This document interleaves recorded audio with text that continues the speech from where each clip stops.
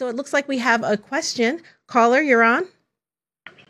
Hello. Hi, uh, I would play the Mystic Challenge. Hi. What is your name? My name's Christina. Hi, Christina. Thank you for calling in.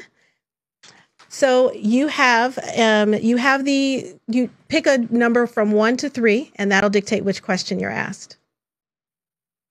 Uh, two. Two. Okay. So your question is, what is divination? So if you've been paying attention to today's show, then this should be easy for you. What is divination? This is multiple choice. So A, accessing psychic psychic information. B, divine happiness.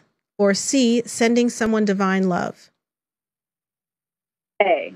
A. All right. Woohoo. Yay. I, I need a horn or something, but congratulations. Yay. So, so you've been paying attention. Good. so you win a free session with me. It's only 15 minutes. And, um, but within that 15 minutes, so much is going to happen. It's going to be great.